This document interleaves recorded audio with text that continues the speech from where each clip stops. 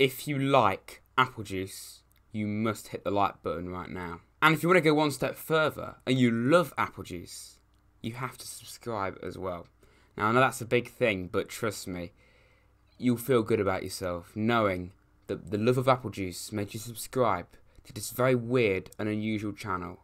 Hence, this intro right now. But hit that like button and subscribe button. I don't normally do this, but I'm insane.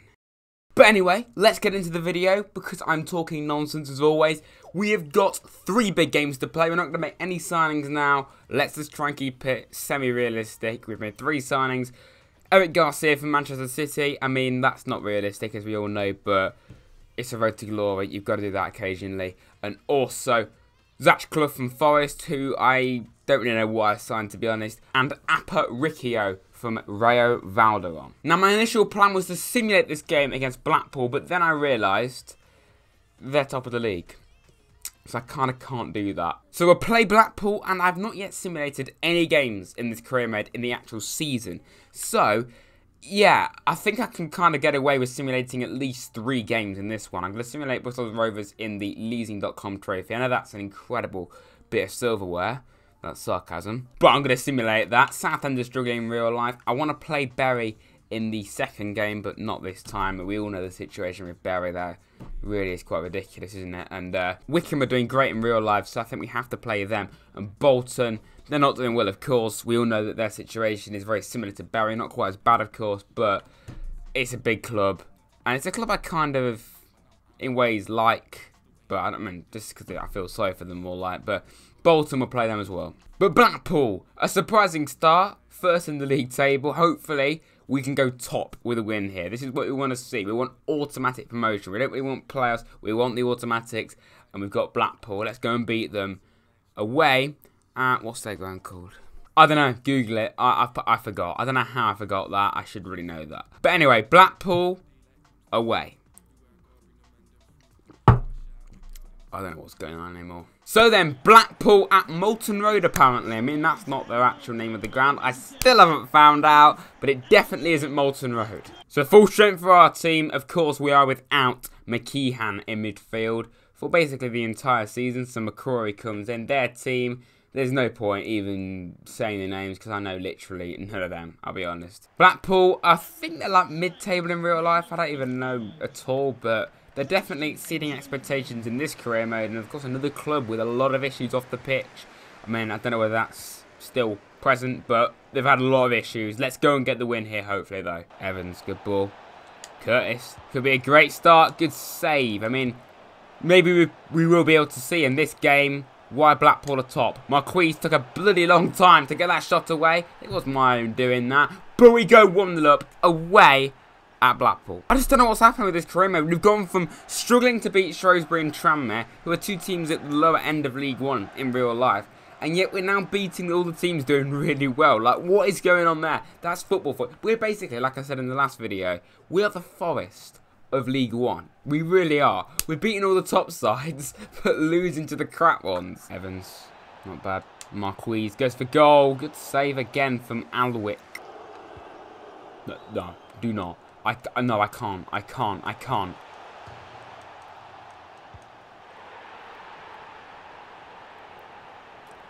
Okay. That time, I didn't directly pass it to him and then he went on and scored. But still, if I hadn't have done that, that wouldn't have happened. But, I'm going to scoot around it as much as I can and say that I didn't cause that because it was a rebounded shot. There we go. That's how I got around that one. It just says everything about me and my ability on this bloody game. I just do not concentrate. It's, just, it's the same with everything in life. My grades at school and college were shocking. It's the same here. I didn't concentrate. And now I'm not concentrating here because I'm rabbiting on about not concentrating. And we can't play that in there because I wasn't concentrating. And now I'm probably starting to annoy it, so I'm going to shut up. Evans. Go on, mate. Marquis. This bloke.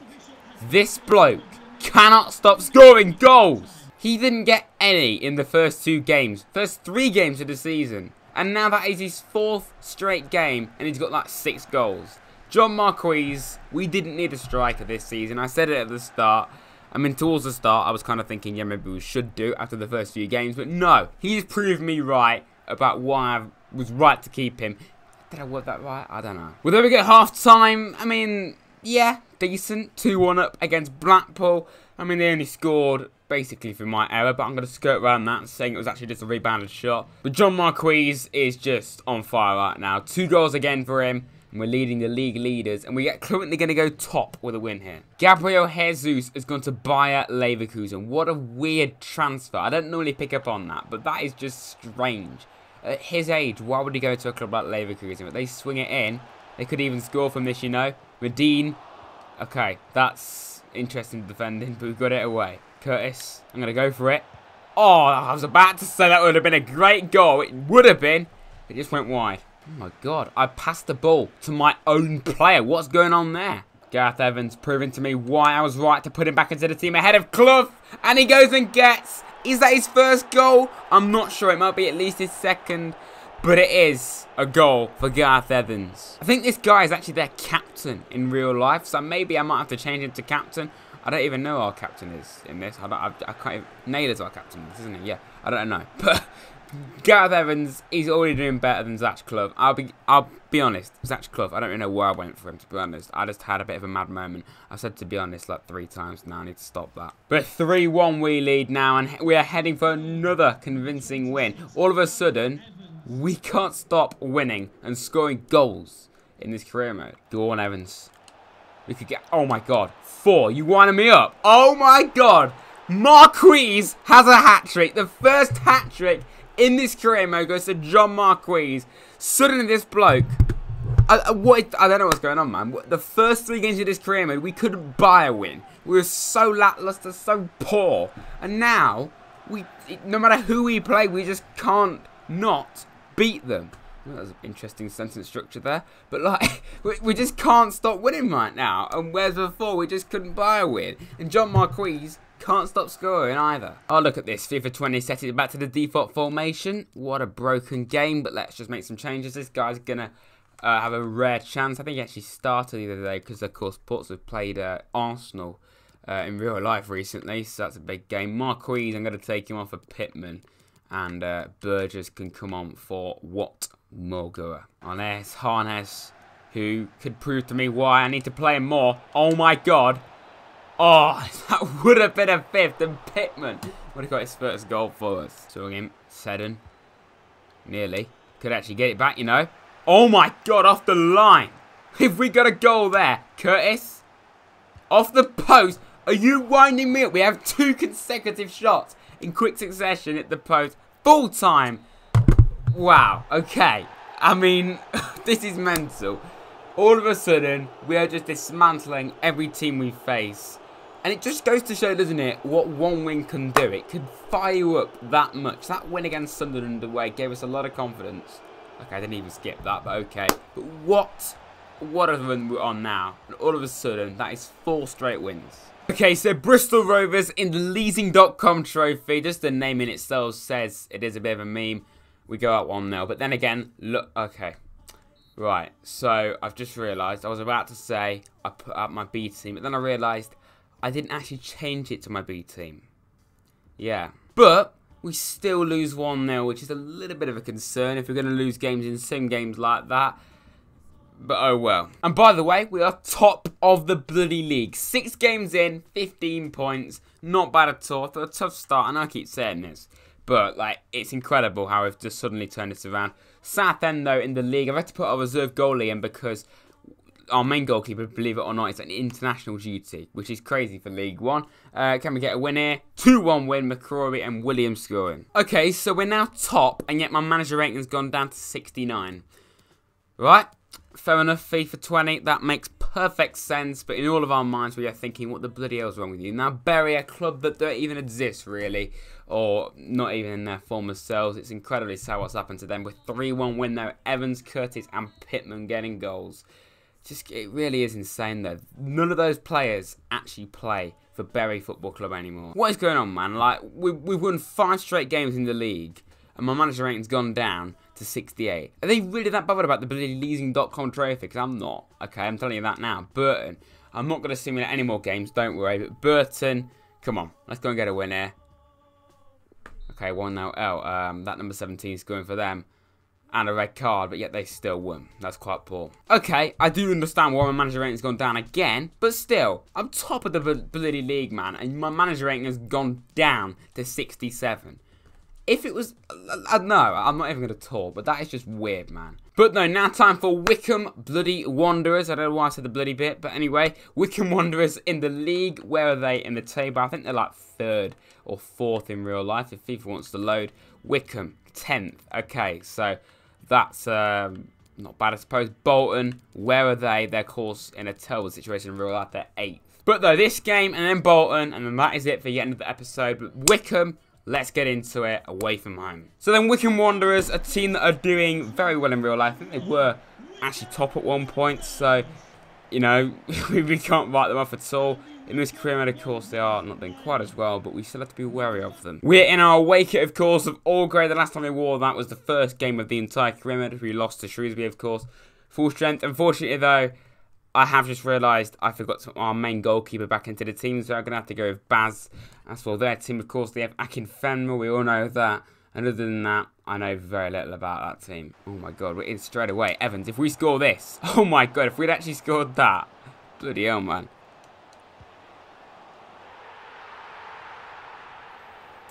Right. That's cool. That's cool, isn't it? well, it's not all plain sailing then. Akinfenwa played it into some bloke I never heard of. And they go to school. Is it just is it just whenever we play in all grey, we just play crap? Right. Lovely stuff. brilliant. Absolutely brilliant.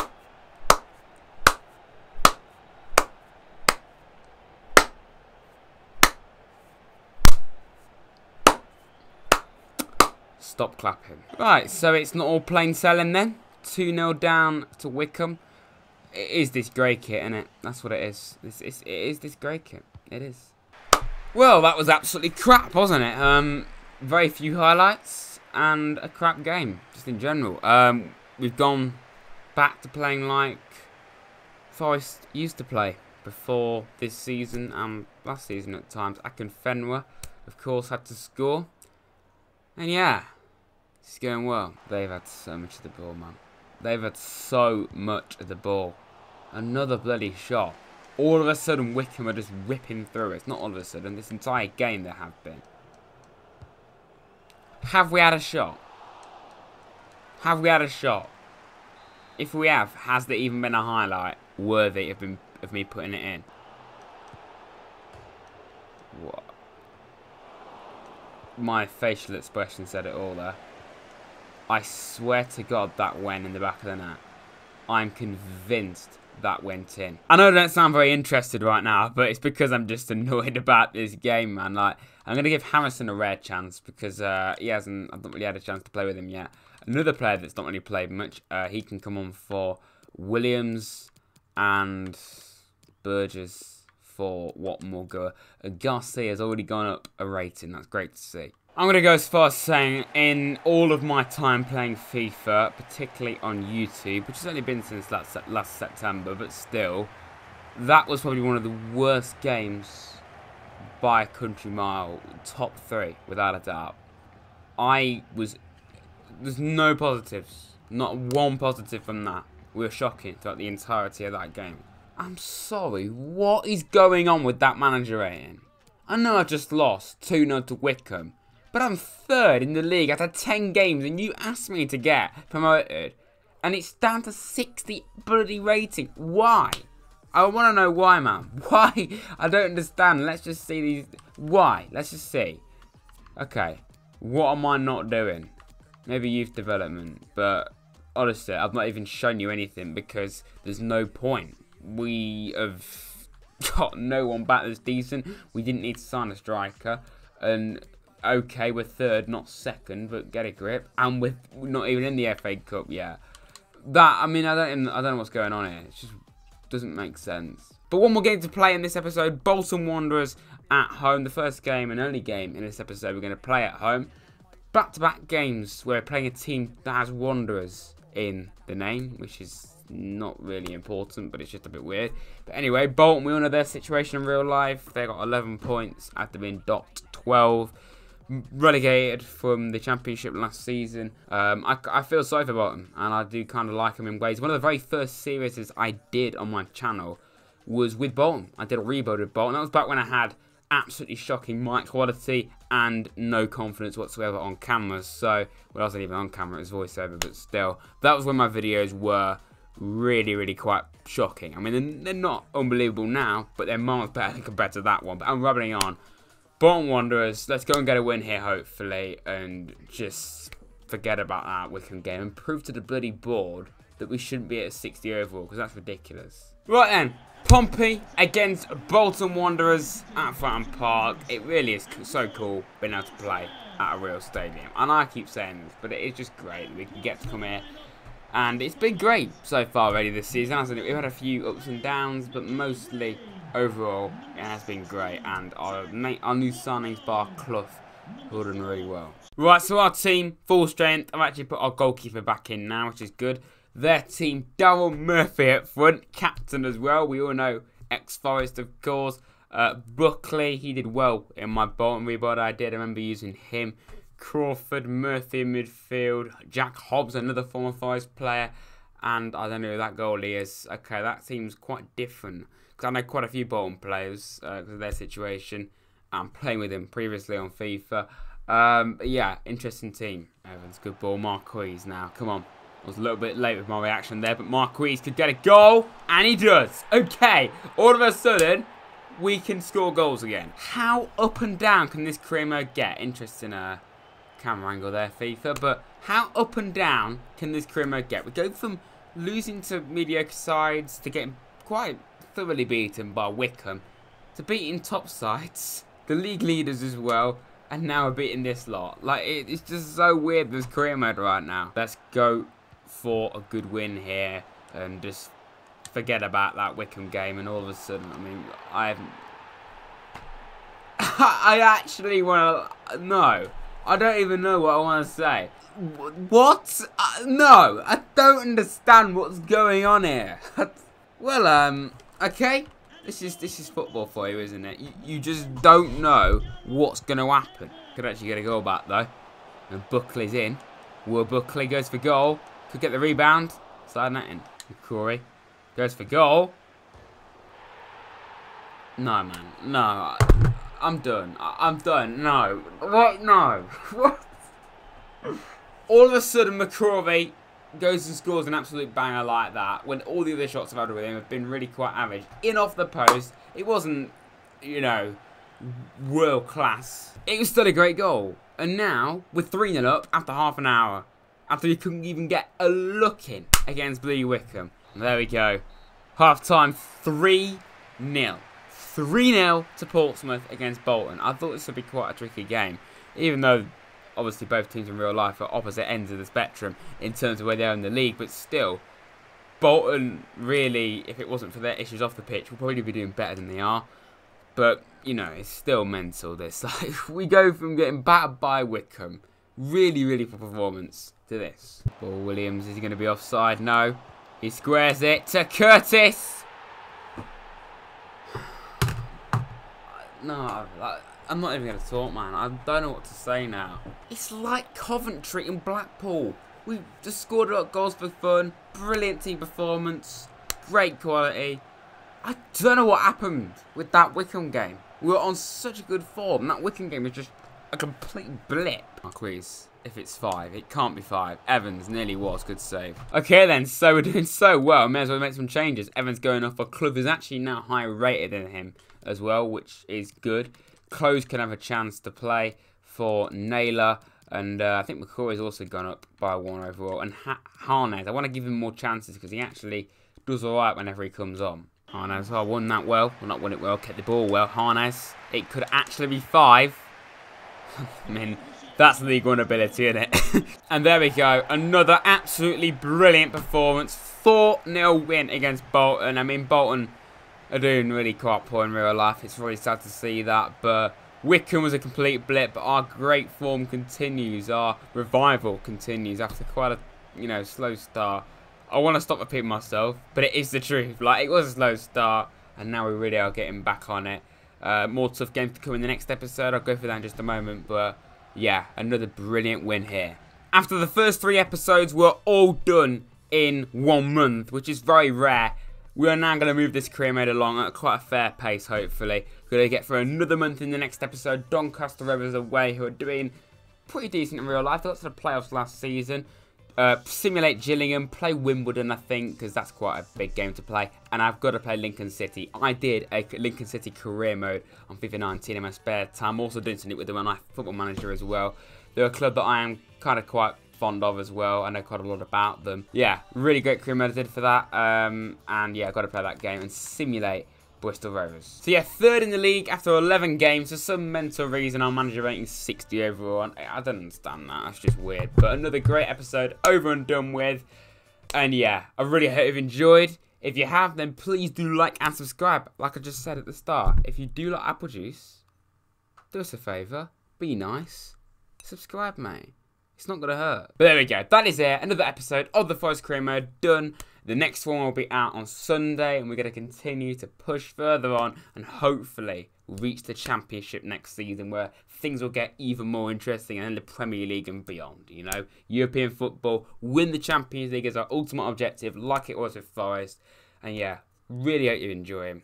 And that is it. But until next time, like and subscribe to Rads Gaming, and I'll see you very soon, lads.